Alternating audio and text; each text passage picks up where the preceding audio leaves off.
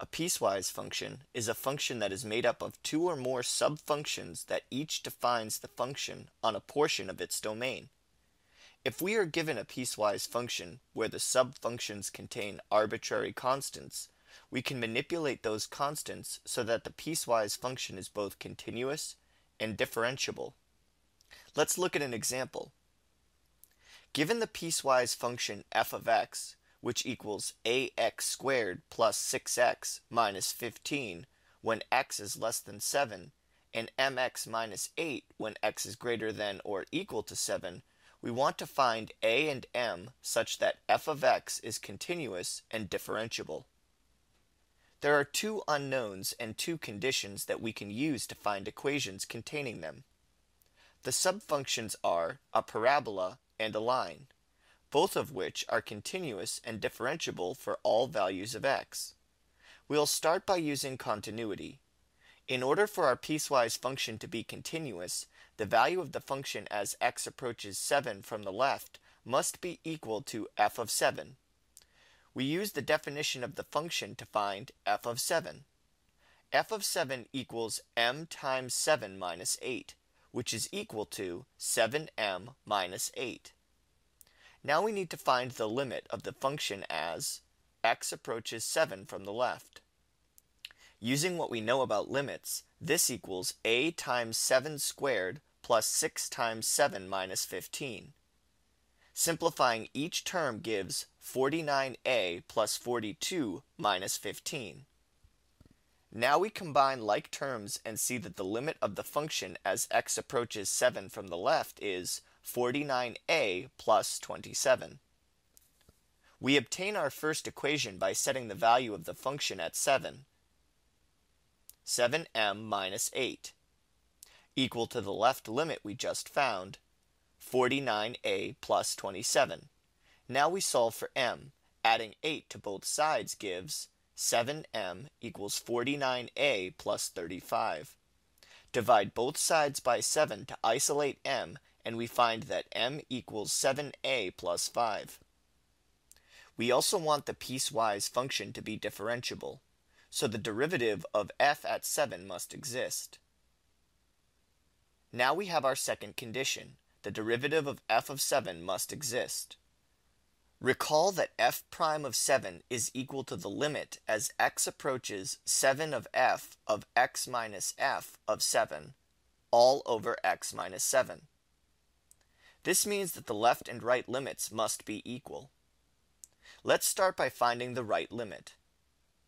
f prime of 7 is equal to the limit as x approaches 7 from the right of f of x minus f of 7 all over x minus 7. After substituting for f of x and f of 7, we have the limit as x approaches 7 from the right of mx minus 8 minus the quantity 7m minus 8 all over x minus 7. Combining like terms gives the limit as x approaches 7 from the right of mx minus 7m all over x minus 7. Notice that the numerator can be factored as m times the quantity x minus 7. This means that the fraction reduces to m, so the derivative f prime of 7 equals m. Looking ahead, we will be using ax squared plus 6x minus 15 when x is 7 to find the left limit of the derivative. Notice that the constant in this subfunction is a. We can save time by rewriting the right limit we just found in terms of a using this equation. We now have f prime of 7 equals 7a plus 5. Now that we've found the right limit of the derivative, we need to find the left limit when x equals 7. f prime of 7 is equal to the limit as x approaches 7 from the left of f of x minus f of 7 all over x minus 7. Recall, f of x equals ax squared plus 6x minus 15 when x is less than 7 and the left limit of f of 7 is 49a plus 27. we end up with the limit as x approaches 7 from the left of ax squared plus 6x minus 15 minus the quantity 49a plus 27, all over x minus 7 after substituting f of x and f of 7 into the limit. Simplify the limit, distributing negative 1 over the parentheses and combining like terms gives the limit as x approaches 7 from the left of ax squared minus 49a plus 6x minus 42 all over x minus 7. Factor a out of the first two terms in the numerator and 6 out of the last two terms. This gives the limit as x approaches 7 from the left of a times the quantity x squared minus 49 plus 6 times the quantity x minus 7 all over x minus 7. Note that x squared minus 49 is the difference of two squares and can be factored further. We now have the limit as x approaches 7 from the left of a times the quantity x plus 7 times the quantity x minus 7 plus 6 times the quantity x minus 7 all over x minus 7. The numerator and the denominator share a common term and can be simplified. Now using what we know about limits, we find that the left limit of the derivative, f prime of 7, equals 14a plus 6. To complete the example, we need to find a and m. To do so, we set the left and right limits of the derivative equal to each other and solve for a.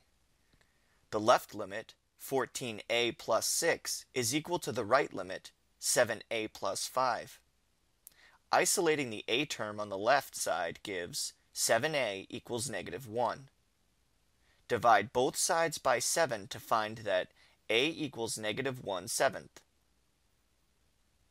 Now we can use the equation for m we found previously, m equals 7a plus 5 to find m.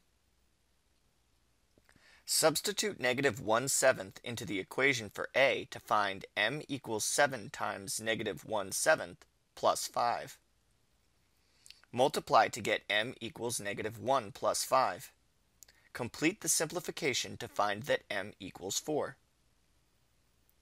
The piecewise function f of x, which equals negative 1 seventh x squared plus 6x minus 15 when x is less than 7 and 4x minus 8 when x is greater than or equal to 7, is continuous and differentiable.